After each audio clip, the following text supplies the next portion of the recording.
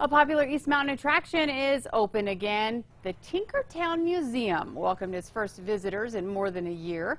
The museum normally is open April through October, but remains shut through the pandemic. It is now taking reservations for one hour visits Friday through Monday. Tickets are limited to groups of six and COVID safe practices are in place.